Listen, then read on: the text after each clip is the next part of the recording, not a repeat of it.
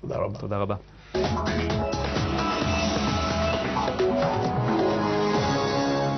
אנטון צ'כוב מת לפני יותר ממאה שנה, אבל המחזות שכתב ממשיכים להיחשב לקלאסיקה בדיוק שלהם, בשרטוט החולשות האנושיות שהם מציגים. הדוד וניה, היה זכור לטוב, עולה בימים אלה בתיאטרון החאן, אחד המפורסמים שבמחזות של צ'כוב. נגיד שלום לשניים מהשחקנים המשתתפים בהצגה, דניאל גל, שלום דניאל. שלום. ויהויכין פרידלנדר, שלום יהויכין. שלום. אחד אה, ותיק ומוכר ואחת טריה ממש מן התנור. הנה קטע להיכנס לאווירה. את יודעת טוב מאוד למה אני בא הנה כל יום. למה ובשביל מי? את יודעת טוב מאוד. אז אל תביטי עליי ככה. טורפת, חמודה. אני זקן מדי, אל תשחקי איתי משחקים. מטורפת. אני לא מבינה על מה אתה מדבר. שואלה יפהפייה שמשחררת לטרף. כבר חודש שלם אני לא עושה כלום, הזנחתי הכל, רק מחפש אותך כל הזמן, צמא לראות אותך. ואת מאוד אוהבת את זה. את אוהבת את זה מאוד. אז מה? אני נכנע, ידעת את זה גם בלי חקירה. בבקשה, תטרפי אותי. אתה השתגעת. את ביישנית. אני בן אדם יותר טוב ממה שאתה חושב, אני נשבעת לך. אני לי כאן היום, אני לא אחזור לעולם, אבל איפה ניפגש? תגידי לי מהר איפה. מישהו עלול להיכנס מהר, דברי. את כל כך מקסימה, את מדהימה. נשיקה אחת. תן לי את המסגרת העלילתית. זה לא אתה, נכון? אבל זו את. זאת אני. אז מי זה מי ככה בחצי דקה? אתה מבין, הוא רוצה להיכנס לנעליי. איזה חצוף, חצוף. לא יתואר. אני הבעל. נכון. אז אתה בעלה? ועכשיו אני סוף סוף רואה מה. שנעשה מאחורי גבי. הבעל המקורנן, אז מי הבעל הוא? המקורנן. הוא הרופא, אסטרוף, שכל הגברות אה, נושאות אליו את עיניהן, ואשתי, אה, מבלי להרגיש, נופלת ברשתו. הנשים הפוחזות הללו, זה- אני אומר לך, זה היה לכל אורך ההיסטוריה.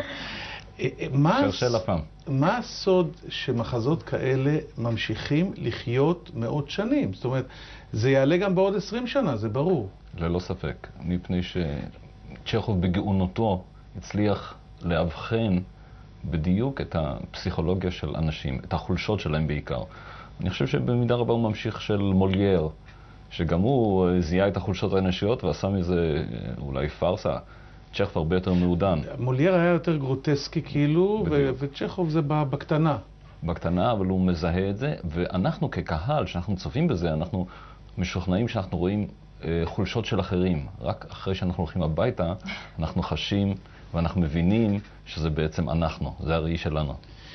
דניאל, קודם כל ברוכה הבאה לעולם התיאטרון. זה הראשונה, נכון? ממש ראשונה. ממש מבית הספר למשחק. כן, התחלתי חזרות על ההצגה עוד בעודי בבית ספר. אז אני לא מבין, אני לא הייתי אף פעם סטודנט למשחק. זה אומר ששיחקת אותה? תרתי משמע. אה, אתה מסתכל כרגע על הבן אדם הכי בר מזל בעולם.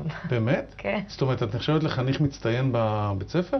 אה, אני לא יודעת אם מה אני נחשבת בבית ספר, אני פשוט משחקת בתיאטרון החאן, היא מוכשרת כזו? הרבה יותר, וזה זינוק שמפה השמיים זה הגבול. זאת אומרת, אני יכול להיות שיום בהיר אחד אני אגיד לנכדיי, אני הייתי הראשון שראיין אותה? טוב, עשינו לה המון יחסי ציבור. ספרי לה על התפקיד ובכלל איך זה לעלות על הקרשים של תיאטרון ותיק ושל... אני משחקת את ילנה אנדרבנה, אשתו של הפרופסור, אה, אישה בת 27. אה, בן כמה הפרופסור? הרבה יותר. לא, לא ננקוב במספרים. הוא גם ירד כזה מגדולתו, נכון? הוא נכון. כזה... אה, לא מה שהיה. אנחנו נחשפים אליהם, אל הפרופסור הרבה אחרי שהוא אה, בימיו הטובים. הוא כבר, אה, בכלל, גם ילנה וגם הוא מתעסקים המון עם תכנים של בדידות ושל חוסר אונים ושל...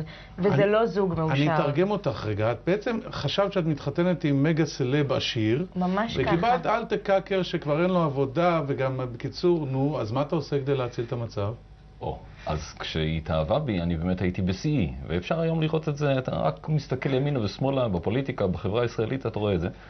ואחרי זמן, כנראה לא ארוך מדי, מספר שנים, הוא יוצא לפנסיה ונבעט מכל המדרגות, ובעצם חסר רכוש. הם נאלצים אה, לחזור אל האחוזה הכפרית, ששם הוא מרגיש שהוא הולך לאיבוד לחלוטין. ו... והיא מרגישה שהיא חיה לריק. עכשיו, הדבר הנורא הוא שהפרופסור מבין את זה. הוא מבין שהוא, כמו שהוא אומר, חצי פגר, ולצידו בן אדם צעיר, בועט, שהכל עוד לפניו. באיזשהו מקום הוא מרגיש שהוא כולא אותה, אבל הוא, הוא זקוק לה, הוא זקוק לאהבה, להערצה, כמו שהיה לו פעם. ועם זה צריך להתמודד, וזה לא פשוט. אז את בעצם, האופ... את, את אישה פוחזת שרודפת רק אחרי תענוגות, או שאת משהו יותר עמוק מזה בהצגה? ממש לא, אני אגיד להגנת. הדמות שלי. אה, לא, היא גם אומרת, אני חושבת שהיא מבינה תוך כדי המחזה שהיא התאהבה בו, היא אומרת, הוא היה מדען ואיש מפורסם. וזאת לא הייתה ממש אהבה, היום אני מבינה. אה, אז לא, אני חושבת שהיא אישה מאוד מאוד מוסרית, והיא אישה כן, מבחינתה מאוד מאוד נאמנה. משהו בה גואה, גואה החוצה ורוצה לצאת, והם רואים את זה בהצגה ובקטע שראינו. תגיד, את, את הדוד וניה כזה צריך לתרגם ל- לשפה עכשווית? מבחינת ה- לאורך השנים, זה צריך, לה... יש התאמות או שזה as is? ככה זה הוצג לפני 30 שנה וככה זה מוצג, אתה יודע, עם וריאציות של הבמאי.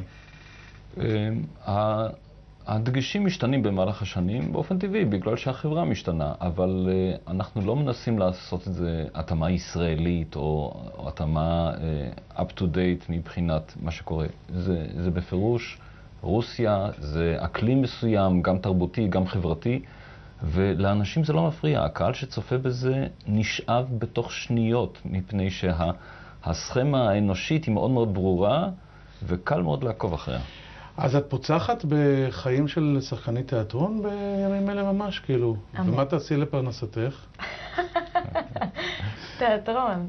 זאת אומרת, את הולכת אה, חדורת אה, מוטיבציה, זה בעיקר, אותו אני לא אשאל כי הוא כבר נגוע, אבל זה חיידק, פשוט אה, נולדים עם זה ו... תשמע, לפני זה הייתי רקדנית. אז כן, תיאטרון. כי יש לך גם עבר של רקדנית, כן. ואת מעדיפה תיאטרון. אה, כרגע, כן, אני לא, לא בהכרח הפסקתי עם זה, אבל כן. טוב, כמו שאמרנו, היא תגיע, יש לי תחושה שהיא תגיע רחוק מאוד. אגב, דניאל מנחמת אותי כל פעם שאנחנו יוצאים מהבמה אחרי סצנה שבה אנחנו אה, רבים בינינו. אומרת, אל תדאג, במחזה הבא אנחנו נהיה זוג אוהבים. זוג, הפעם כן אוהב. גדול. חברים, הדוד וניה, בחן, תודה רבה לכם. תודה רבה. תודה. עשרות אלפי צעירים ישראלים מבקרים מדי שנה במחנות הריכוז בפולין. לביקורים האלה תמיד התלווה מתח מסוים